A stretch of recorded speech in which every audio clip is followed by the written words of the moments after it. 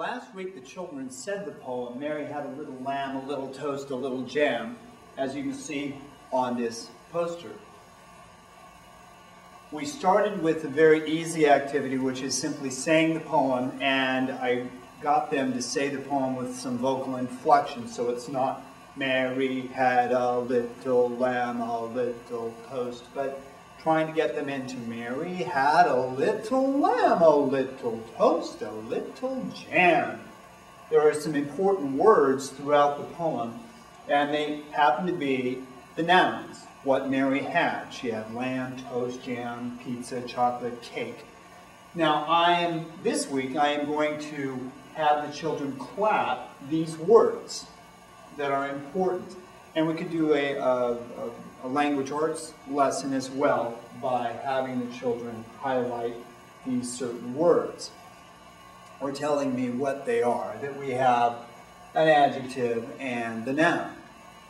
So, anyway, we're going to have them say, or I'm going to have them say the words, and we're going to clap all the words that are in black.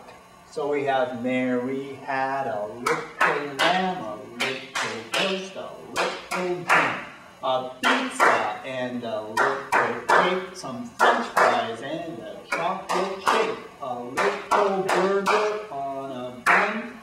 That's why Mary weighs a ton.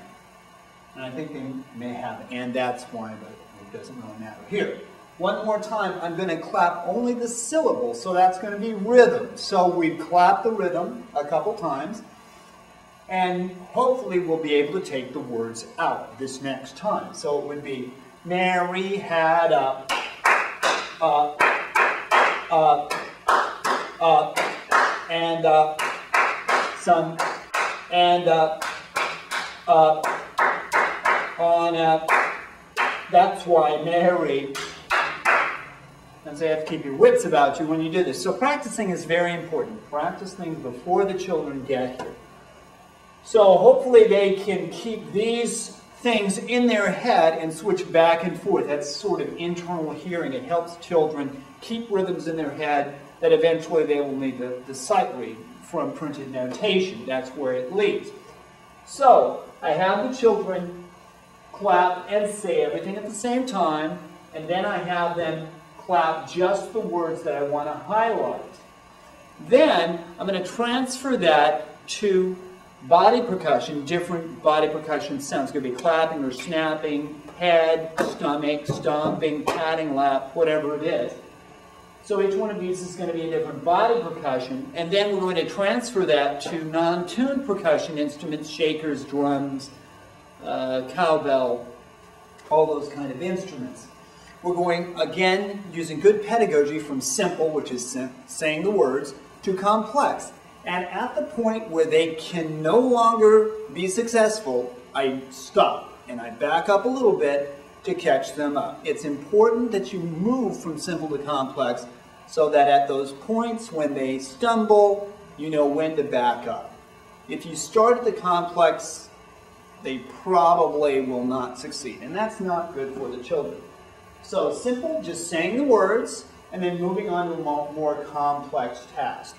Eventually, probably not this week, probably not next week, but maybe in two or three weeks, using the same poem, we can get to tune percussion instruments using a pentatonic scale. Now, this week, we probably might just get into non-tuned percussion but we will probably stay with body percussion. The thing I want the children to do is take what I'm giving them here and make up their own body percussion. It's theme and variations. Good pedagogy is theme and variations. My theme is highlighting the rhythm of these certain words, and this again is an Orff lesson. And the variation is how many different ways can we put body percussion together to highlight these words. What I'm doing is conning them into practicing without making it seem terrible. We want them to be happy, so when you give them the rein to create within specified guidelines, which is one of the texts, then you can be successful and help the children out. So, uh, that's basically the plan for fourth grade. And for uh, fifth grade. Fourth and fifth grade will use the same poem, and we will see how developmentally one class may be ahead or behind the other, or they may be identical. The same lesson will not be the same way for every class because each class essentially is different, which makes perfectly good sense. So, we say the poem and we highlight the words in black, and eventually we will move it to a more uh, tuned percussion instrument lesson.